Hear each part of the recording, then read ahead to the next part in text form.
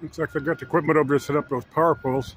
I think they poured the concrete yesterday. I would think it'd give it a day or two to um, set up and harden, but uh, looks like they've got a, maybe just parking stuff over there. I don't know.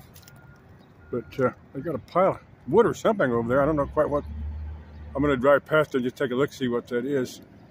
Something piled up there. It uh, looks like they're getting that big old crane set up to. Uh, I'm just gonna let this. I got some downloads going. Um, this particular corner of the building, I get pretty, you know, pretty, pretty, pretty strong signal from uh, Sam's Club's Wi-Fi.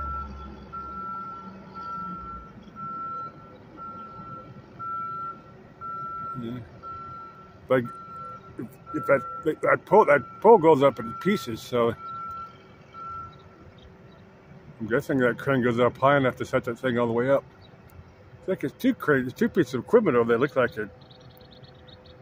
I'm not quite sure how they're going to do that, but I suppose I think bolt together. Bolt. Um, I guess they got the crew there to maybe the other other thing lifts the people up so they can get up there to put the bolts in. And they got to put the arms on there so they can put the you know have insulators and then have to wire. I a bird messing around behind me here. I don't see him. When they swing the, my phone around and get the bird, but I don't, I don't see the bird. They're trying to figure out exactly what those things are. One person on um, picture I posted said they're grackles, and a couple, a couple people me, tell me they're crows. So I, I don't know. I have to get me a book on birds and to figure that out. But uh, yeah, this thing's lifted up. I'm not gonna let this go. But once I get something set up, or I'll, I'll get a video of that. Okay, bye bye.